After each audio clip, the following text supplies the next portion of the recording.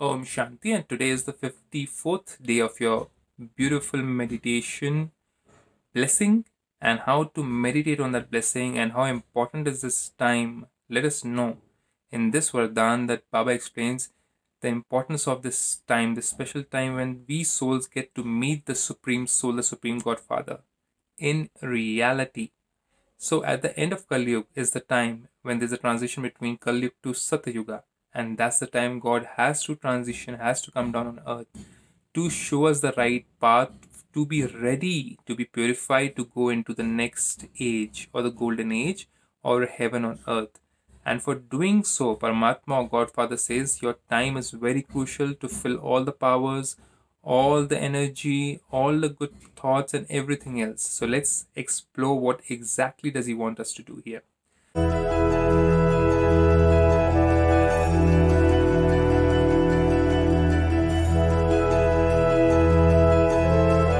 So in this blessing, Baba says, May you be constantly uh, be an embodiment of total success. Total success by using the elevated treasure of time in a worthwhile way. So let's go into the details. The children who use the treasure of time for the benefit of themselves. This important time to meditate on God, not to go too much into worldly aspects, but to get in connection with God and take care of your basic needs.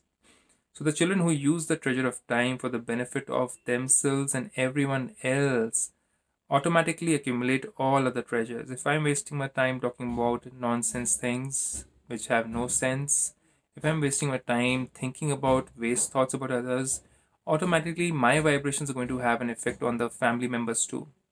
So, I'm wasting their time, I'm wasting my own time.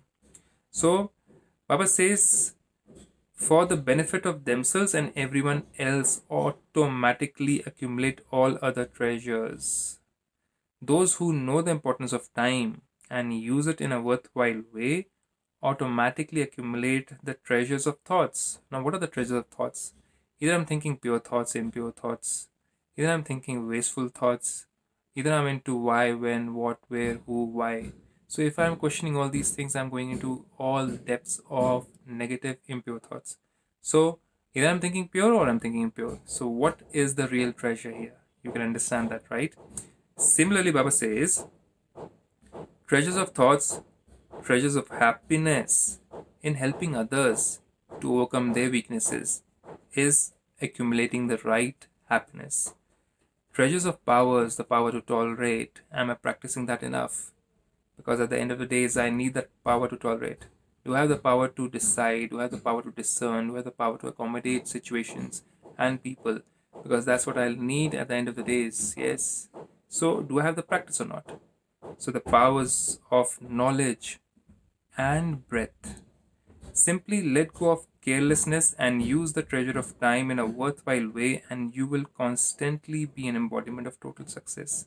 So time is very crucial and Baba wants us to use it in a worthwhile way in this time when we are in connection with God. So I leave you with this beautiful, beautiful blessing. Think about it again and meditate on it. With this, Om Shanti.